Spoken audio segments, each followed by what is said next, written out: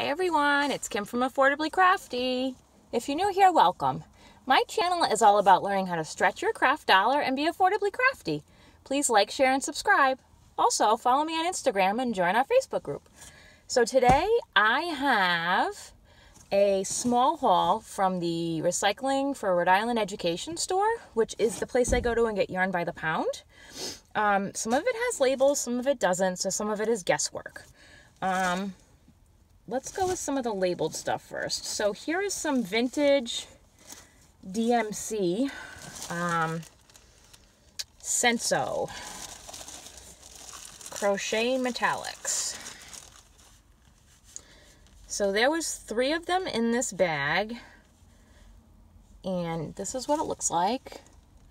It is like a pale yellow with gold metallic thread in it. And this one, it's 100 yards, so I have 300 yards. Um, and it is size number three, which is the size that's closest um, in crochet thread world to actual yarn. So if you see here, this kind of makes me think of like a three weight. What do you guys think? Comment down below. Um, and this just says the color 1402.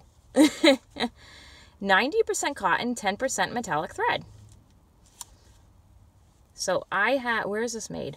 Made in Brazil. You don't see that every day. Um, so I have 300 yards of this, which is awesome. And again, this is by the pound. Then I have some cone yarn. Now, one of one of these has it. Hold on.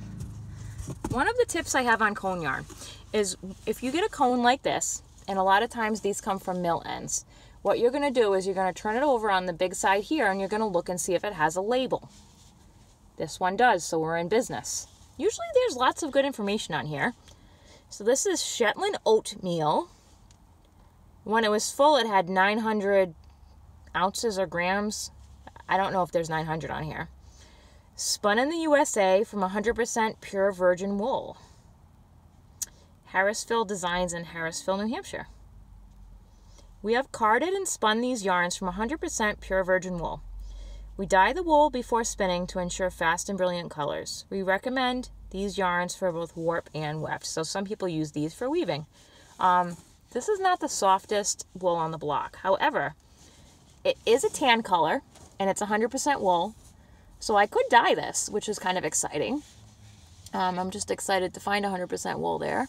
So if we look at it up close, it is like a beige color. Nothing too exciting there, but I make a good base. And I would say that's probably a two weight. What do you guys think? Comment down below on that weight. So that's the first cone yarn. This is the second cone yarn. There's no information on the label. However, it's very soft. It does not smell like wool. Feels like acrylic. So it looks like this. I'm going to turn some lights on in here.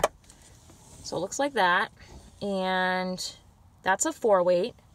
I mean, there's that much on it, but it's really, really soft, like super, and it's kind of red with like a sheen or a slight speckle on it.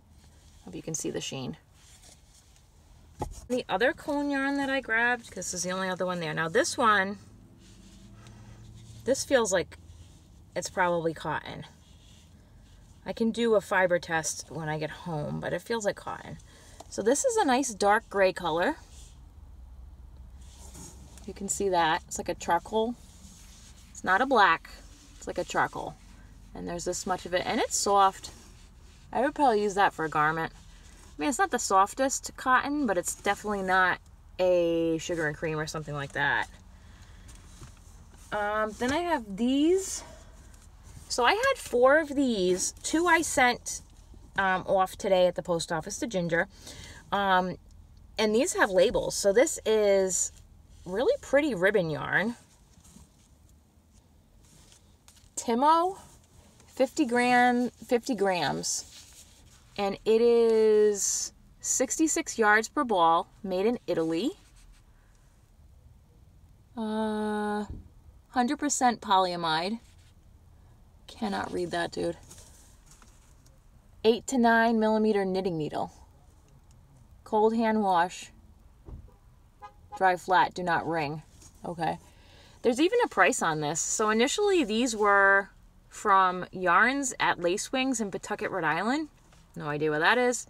And they were $11.25 a ball. Keep in mind, this is by the pound and these are not heavy. So I have 100, uh, over 150 yards of this. Actually, yeah, almost 150 yards of this in the blue. And Ginger has the same in flame colors. Two of them. Um, then we really get into guessing. So there is this odd, like novelty yarn. It's an oatmeal color and it's got these like popcorn things that are like off-white in them. There's not a lot of it. Feels like cotton. It's probably a, a two weight cotton or a three weight. What do you guys think? There's that. That's in a donut, which is my least favorite yarn shape because it always falls apart. This one reminds me of Mary Maxim Mellowspun. I have some of this at the house. I'll have to look at it when I get home. But that, darn it, that looks like the same kind of yarn. Feels the same. Looks like the same um, spin to it. I'm going to have to check it when I get home. And it is in a like light gray color. Then there's this ball that looks like it's a one or a two weight in a off-white color. This is not a full ball because the inside is kind of not together. This is acrylic. Doesn't smell like wool at all. So it's that one. Then there is this one, which feels like mercerized cotton. It's got that distinct feel to it. In gray, again in a donut shape. I think it's a two weight or a three weight. Then there's this tiny ball of red, which is cotton, um, which is a four weight, which I will definitely use for one of my scrap Christmas projects. Then we've got this tape yarn, which seems like it's a full donut in blue. Not sure what I'm going to use that for yet, but couldn't leave it behind. And this tape yarn. Then there's, is this the same as that one? No. Another random donut of acrylic yarn and another gray color. So I got three different grayish donuts in different like textures. These might end up together in some kind of project. Not sure what. What else have I got in here? Ooh, I have that one. So I have this in tan, which feels like it is cotton. Then there's this one weight gray. I definitely would say that's probably a one. What do you guys think? And that feels like cotton also. Is that the same as the other one? Nope, a different gray again. Okay. Whoops. Then there's this turquoise colored. Cotton or acrylic, I cannot tell. But it's slightly stone washed. See what I mean by that? It's got white speckles. Then there's this really nice tweed. Um, in like a teal base and it's got blue speckles and white speckles. That's definitely acrylic. I can tell by the feel of it. And that is a two or three weight, my best guess. Then there's a, this is like a blue gray. Reminds me of like a slate blue. I think this is cotton. It's not the same as the other ones that I pulled out, but it's like a slate blue. And then I've got this kind of unique yarn, which is white, but it's got a twist in it, and every so often the twist goes solid. I've never seen this before. Has anybody seen this before in a yarn? It's a very different way to um, spin it together. But I just love that. I don't know what I'd make that into, but I really love that. Plus I love blue, so. And this feels like acrylic. And then there's one more with a label. Now, not a fan of the, um, I'm not usually a fan of the pink, however, I couldn't leave it behind. So, oh my goodness, I didn't even notice that when I grabbed it.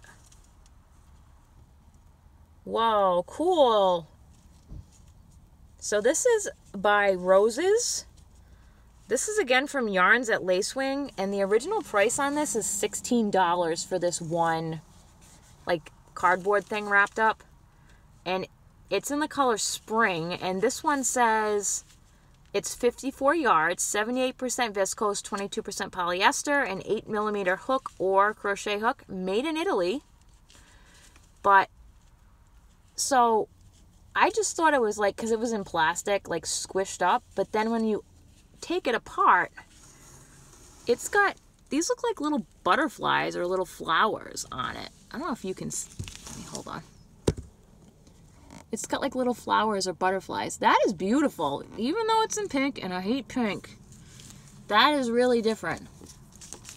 So I definitely can see why this yarn was very expensive for that amount of it. So it's kind of a novelty, but it's got green with a couple different colors of pink and this light brown. Oh, that is different. Anybody seen anything like this before? Cool. Again, by the weight. That's it for the yarn. The reason I went there was to get some stuff to send to Ginger from Yarn Geek for our live in a couple weeks. So this week, tomorrow at 8 a.m. Eastern Standard Time, is going to be yarn bombing your car. And we've both been working on projects for that all week. It's been super fun. And I again will have a Pinterest board to share with everyone. And then the week after is going to be all about Advent. I know there's been a lot of questions about Advent calendars, what they are, different yarny calendars. So we're going to be talking about that and discussing different options. And I'm going to be making some stuff. So that'll be fun to get us into the holiday spirit. And then the week after, we are going to be doing um, crochet and unconventional materials. And that is the stuff I just sent out to Ginger. So we're both going to have the same amount of materials in very similar colors um, to work with. Um, it could be really interesting to see what I, each of us comes up with. Um, so that will be super fun. And oh, next Wednesday, November 11th at 8 a.m. Eastern Standard Time, I am doing a live yarn swap unboxing with Crochet at My House Charlotte, who is from Scotland. So it's across the pond swap. Um, and it's also her first live. So I hope you guys can join me. Uh, in America, it's Veterans Day. Um, so we'll check that out. And that is what is coming up most recently on my channel. Again, check me out tomorrow on Saturday at 8 a.m. with Ginger, where we're going to talk about yarn bombing your car. And everybody have a creative day. Please like, share, and subscribe so your friends can learn how to be affordably crafty too. Bye!